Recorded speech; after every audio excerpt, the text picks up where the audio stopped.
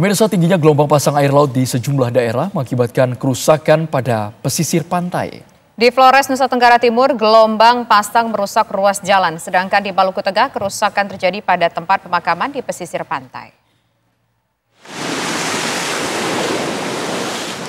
Banjir rob dan gelombang pasang menghantam tempat pemakaman umum. Ini terjadi di pesisir Pantai Haya, Kecamatan Tehuru, Maluku Tengah. Akibatnya sejumlah makam rusak. Abrasi juga merusak tanaman milik warga di pesisir pantai.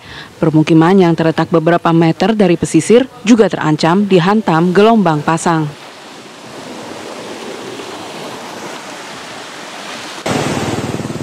Terjangan gelombang pasang juga merusak pantai utara Pulau Flores, Nusa Tenggara Timur.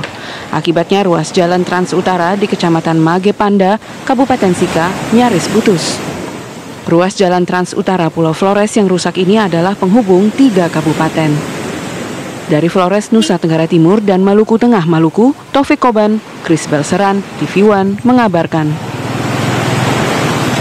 Majelis Hakim tingkat banding tetap memfonis mantan Karupaminal Propam Polri Hendra Kurniawan 3 tahun penjara dan denda 20 juta rupiah atas kasus perintangan penyidikan pembunuhan Brigadir Yosua Huta Barat. Putusan Majelis Hakim Pengadilan Tinggi DKI Jakarta menguatkan putusan Pengadilan Negeri Jakarta Selatan sebelumnya pemirsa. Majelis Hakim juga meminta agar Hendra tetap ditempatkan di tahanan. Putusan ini diambil oleh Majelis Hakim Pengadilan Tinggi Jakarta yang dipimpin oleh Hakim Ketua Nelson Pasaribu dengan Hakim Anggota Tony Pribadi dan Sugeng Hianto. Sebelumnya pemirsa, Majelis Hakim Pengadilan Negeri Jakarta Selatan menjatuhkan vonis 3 tahun penjara kepada Hendra Kurniawan. Atau melawan hukum dengan cara memindahkan informasi elektronik manus manistra. Nah, tersebut di atas, majelis hakim banding tidak sependapat. Dua terdakwa kasus peredaran narkoba jenis sabu, AKBP Dodi Prawira Negara dan Linda Puji Astuti alias Anita, dijatuhi hukuman penjara 17 tahun dan masing-masing denda sebesar 2 miliar rupiah oleh Majelis Hakim Pengadilan Negeri Jakarta Barat siang tadi. Putusan hakim yang dijatuhkan pada AKBP Dodi dan Linda ini lebih ringan dari tuntutan jaksa penuntut umum. Berapa tadi? Terdakwa mantan Kapolres Bukit Tinggi AKBP Dodi Prawira Negara jalani sidang vonis kasus peredaran narkoba jenis sabu yang juga menyeret mantan Kapolda Sumatera Barat Irjen Pol Teddy Minahasa. Sidang digelar di Pengadilan Negeri Jakarta Barat hari ini mulai pukul 10 pagi tadi. Dalam persidangan, Majelis Hakim Pengadilan Negeri Jakarta Barat menyatakan Dodi terbukti melakukan tindak pidana peredaran narkoba untuk dijual, menjual, dan menjadi perantara dalam jual beli narkoba jenis sabu. Mantan anak buah Irjen Pol Teddy Minahasa ini difonis 17 tahun penjara dan denda 2 miliar rupiah subsidiar penjara 6 bulan. Menjatuhkan pidana oleh karena itu kepada terdakwa tersebut dengan pidana penjara selama 17 tahun dan denda sebesar 2 miliar rupiah. Apabila denda tersebut tidak dibayar, maka diganti dengan pidana penjara selama 6 bulan.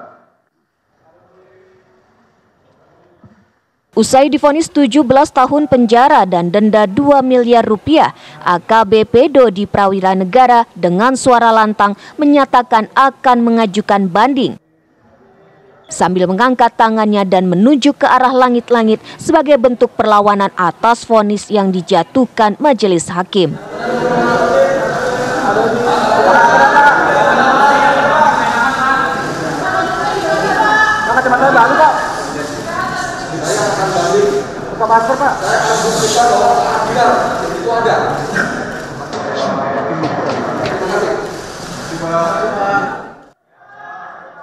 Diketahui putusan hakim ini lebih ringan dari tuntutan jaksa penuntut umum yang menginginkan Dodi dihukum dengan pidana 20 tahun penjara dan denda sebesar 2 miliar rupiah subsidiar 3 bulan kurungan. Selain AKBP Dodi Prawira Negara, terdakwa lainnya Linda Pujiastuti juga menjalani sidang vonis hari ini. Linda Pujiastuti alias Anita Cepu turut dinyatakan bersalah dan difonis 17 tahun penjara. Amar putusan tersebut dibacakan langsung oleh Ketua Majelis Hakim John Sarman Saragih di ruang sidang Pengadilan Negeri Jakarta Barat. Selain hukuman penjara, hakim juga memutuskan menghukum Linda Pujiastuti dengan hukuman denda sebesar 2 miliar rupiah. Hari ini adalah pembacaan menjatuhkan pidana oleh karena itu kepada terdakwa tersebut dengan pidana penjara selama 17 tahun dan denda sebesar 2 miliar rupiah. Apabila denda tersebut tidak dibayar, maka diganti dengan pidana penjara selama enam bulan. Vonis hakim yang dijatuhkan pada Linda Pujiastuti ini juga lebih ringan dari tuntutan jaksa penuntut umum yang meminta Linda difonis dengan pidana 18 tahun penjara dan denda 2 miliar rupiah subsidi 3 bulan kurungan. Dari Jakarta, tim TV One mengabarkan.